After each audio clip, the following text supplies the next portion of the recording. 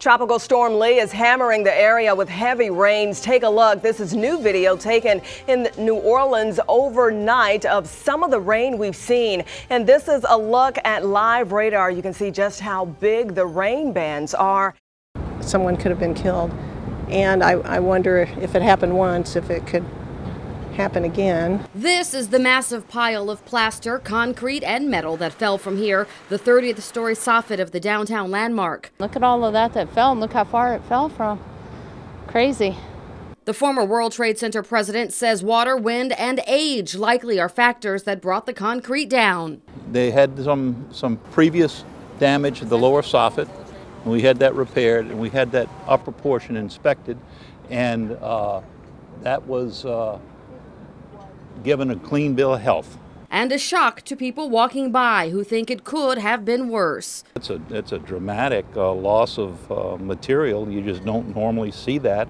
It has happened in other downtown buildings of a similar age, but for a, a, a, large section like this to come loose, yeah, that's a surprise. The city sent out an inspector and an engineer to figure out what happened and why. Working it at the catwalk. Why Margaret, the Mackels, and I worked the runway for charity. and it was a lot of fun. Some familiar faces strutted down the catwalk today for charity. WDSU Chief Meteorologist Margaret Orr doubled as a model today at the St. Elizabeth's Charity Fashion Show. St. Elizabeth's is a charity that helps various. Who is that guy and what's he doing? St. Elizabeth's is a charity that helps various programs throughout the metro area for children.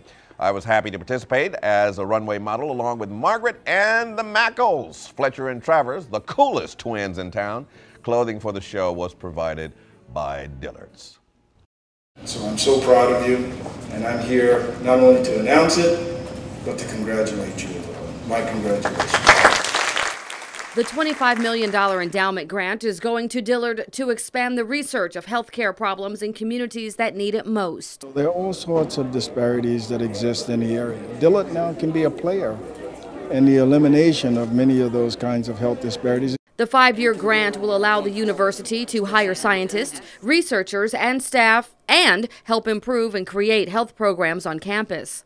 It's going to move us to another, another level of support and indeed recognition in this community. School leaders say this is a big deal because the programs developed here can help the New Orleans community and benefit the city as it continues to build the Biomedical Research Center. To advance academic areas and research and programs for students.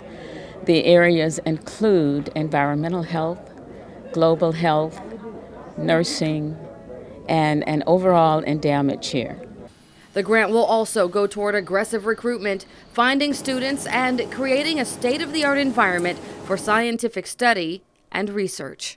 And those leaders will be so experienced that they will bring to this community new vitality and new leadership.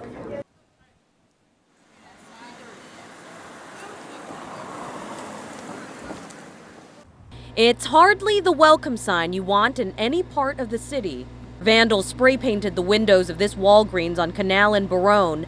And take a look at this mess on the side of a building just a couple of blocks over at Rampart and Canal.